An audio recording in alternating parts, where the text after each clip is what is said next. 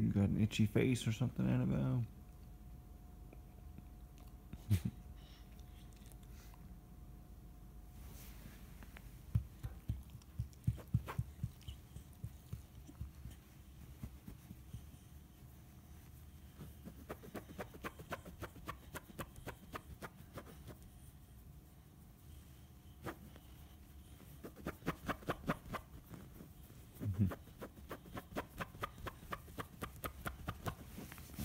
Not too much.